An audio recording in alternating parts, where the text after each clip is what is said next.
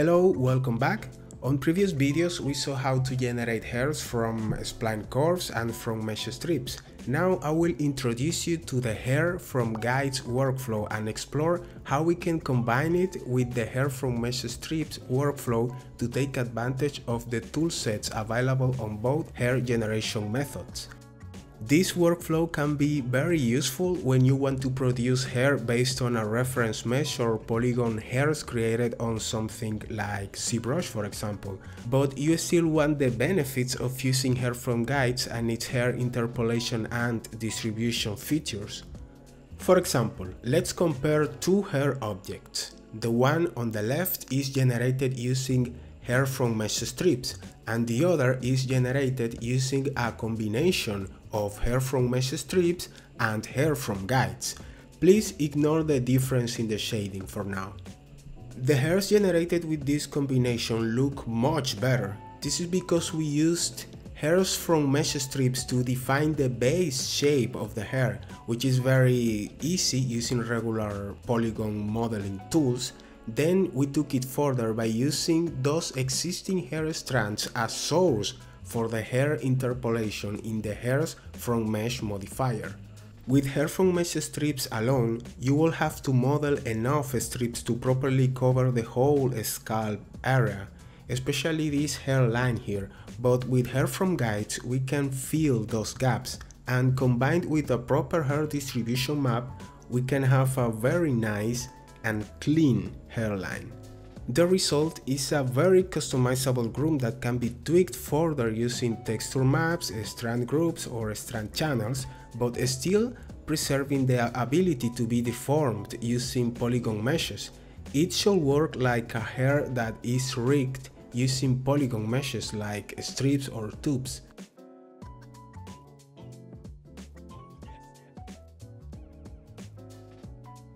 Now that we understand the concept, let's get started. First, I will break this down on a very simple scene and then we can implement it on a more complex scenario. Like in the previous video, let's add hair to our mesh strips using the hair from mesh strips modifier.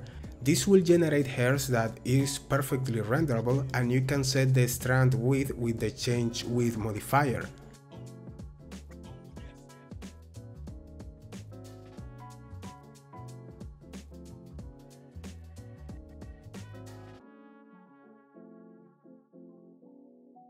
Now let's generate hairs using hair from guides. If we select this object, click add hair and select the fur ball preset, it will generate some modifiers that will build the hair starting from the guides. Those modifiers are guides from mesh that will generate guides from the mesh, of course. The roots of the guides will be distributed evenly by default, but you can choose between different distribution methods like even distribution, face center, per vertex, random face, random area, UV based, and uniform distribution. Here we have some parameters to tweak the distribution of the guides, like guide count to set how many guides we want, length to set the length of the guides and randomness to randomize the length of the guides. Edit guides can be used to comb those guides using any of the brushes available on this section, like comb brush, cut brush, grow and shrink and the paintbrush. I will not go too much into edit guides, we will have a video dedicated to edit guides later. Now, hair from guides will generate and interpolate hair strands between those guides, so we can have a huge amount of hairs based on just a few guides. We already saw some of the hair from guides parameters in the video about generating hairs from curves, but let's go over a few more of them right now.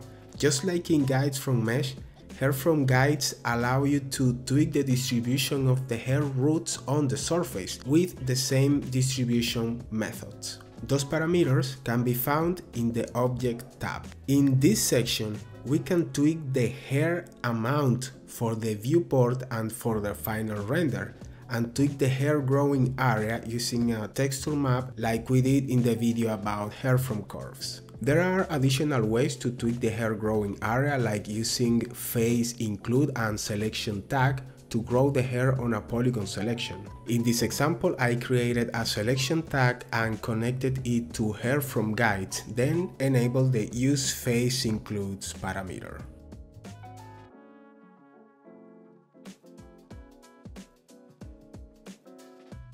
Or you can use guide proximity, like in this example, I want to grow hairs only on the areas where I have guides, so I will enable use guide proximity and use the guide proximity distance slider to determine the growing area near the guides.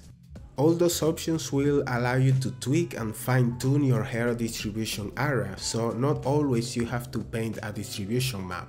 In the next tab, we have the hair interpolation settings. Here is where you tweak how the hair is interpolated between guides, depending on different factors like distance between guides or the distance between the roots. I can tell you right now that the default settings work very well and I rarely change them, but feel free to play with them. On this example, I will grow hairs only on a circle around the guide's root by setting the guide selection to circle and then playing with the guide area circle radius.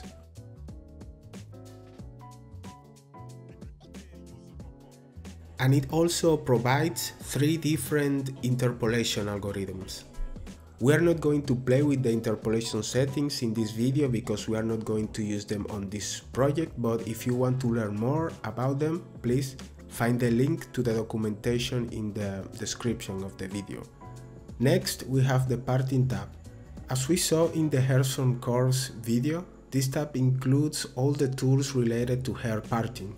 Auto parting will part the hair based on the distance between the guides, while allowing you to control the angle and distance threshold.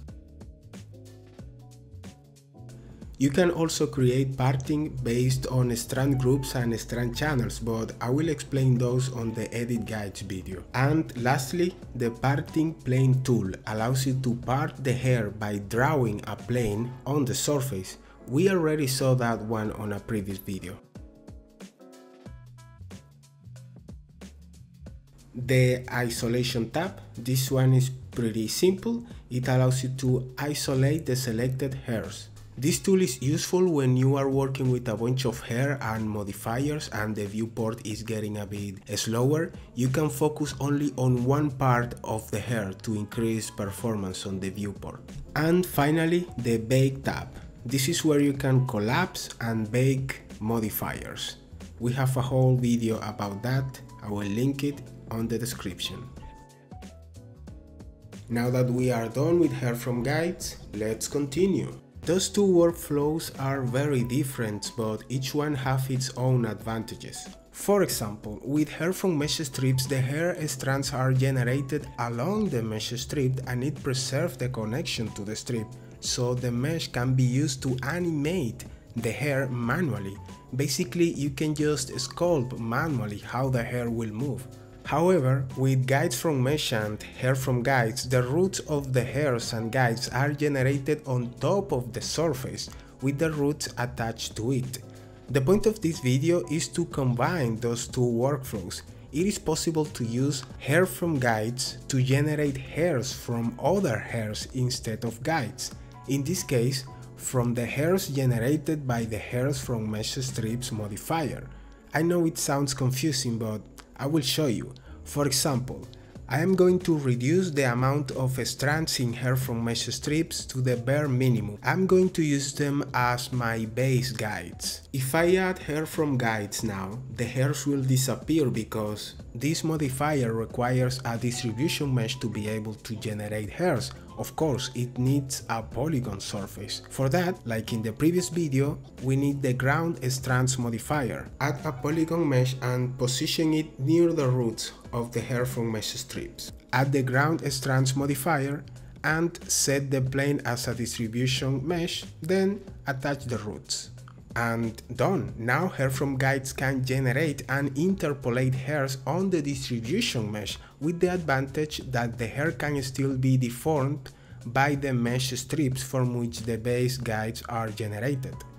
Okay, now that you know the concept, let's get this further and apply it to something more complex. Here I have this scene with two polygon strip objects that I will convert to hair from mesh strips to generate my base guides.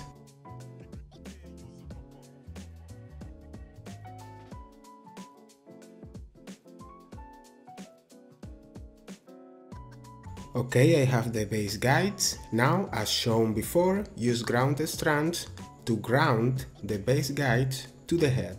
Here I am adding hair from guides and contemplating if I really need to paint a distribution map or if I can use the use guide faces option here in hair from guides to grow hair only on the polygon faces on which the guides are attached. Or you can use the guides proximity option instead and I just keep tweaking the hair distribution options that we already saw on the first part of this video. Here I am using mesh from strands to visualize the hair in the viewport as mesh and tweaking the width with the change width modifier.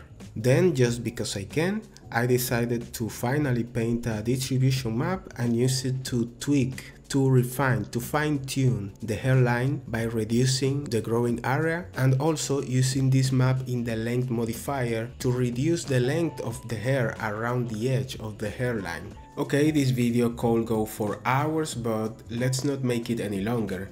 I will stop now and make some comparisons. Notice the difference in the hair distribution. See how full it looks with proper hair interpolation and the quality of the hairline compared to our hair from mesh strips base. With this method, we didn't have to comb any guides. Instead, we based our groom on polygon meshes that served to establish the base. The result is a groom that follows the base mesh very closely, is very art directable and being procedural you can go back to any modifier to tweak the hair as you please, or even modify the base polygon strips. That's all for this video, in the next part we are going to do the ponytail.